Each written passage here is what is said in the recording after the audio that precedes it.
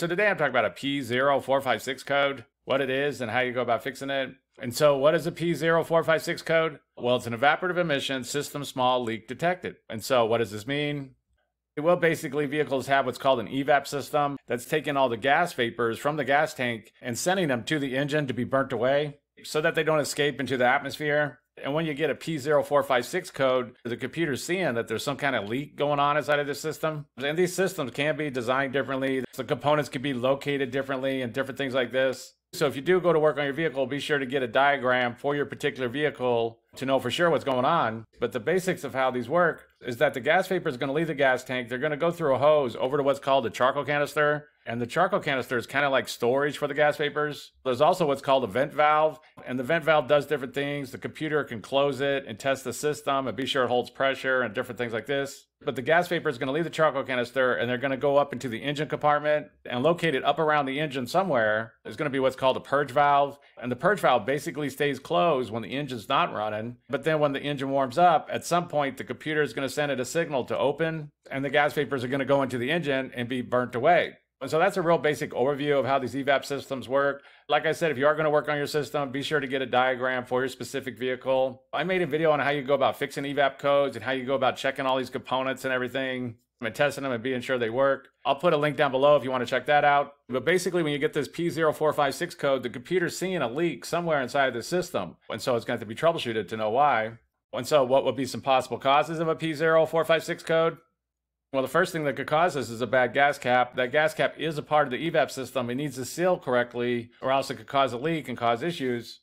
This is also going to include the new vehicles that don't have a gas cap, that have that inlet that automatically opens up. If that's leaking or anything like this, then this can also cause issues. But a lot of people automatically go buy a gas cap when it may or may not be the problem. If you do go and get a gas cap, try to get an OEM gas cap, since sometimes those aftermarket third party gas caps, sometimes they don't seal correctly and they cause problems.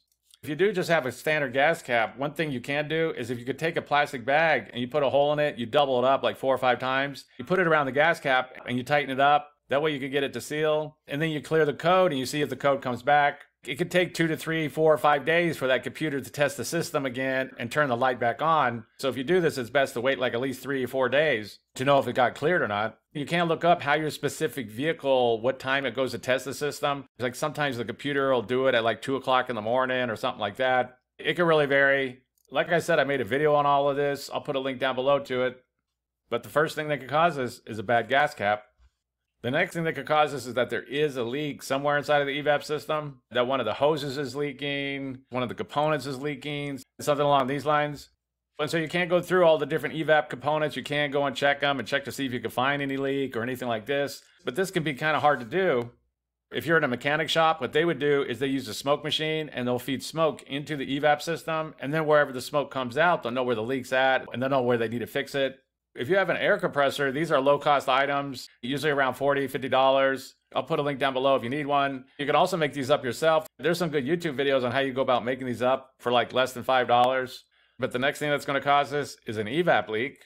And the next thing that could cause this is a bad purge valve. And the purge valve is going to be located up inside the engine compartment. It's basically just a solenoid that opens and closes when the computer tells it to. If these get stuck open, then that can cause problems. These can get stuck open or closed. But if it gets stuck open, then that could cause a leak. There's a few different ways to go about testing it. The purge valve is normally closed. So when there's no power going through it, you shouldn't be able to blow through it. So if you can't blow through it, then you know it's stuck open. You can also test this without removing it from the vehicle by checking to see if there's any vacuum on the line. Again, I made a video on this. The link will be in the description. But the next thing that could cause this is a bad purge valve.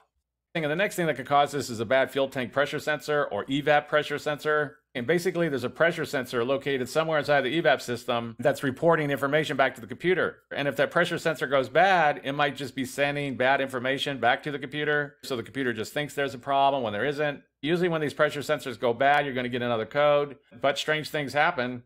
They can also be located differently. Quite often, they're located right up on the fuel pump, which, depending on the vehicle, can be kind of hard to get to sometimes but they can also be located differently. Sometimes they can be located on the charcoal canister and things like this. But the next thing that could cause this is a bad fuel tank pressure sensor.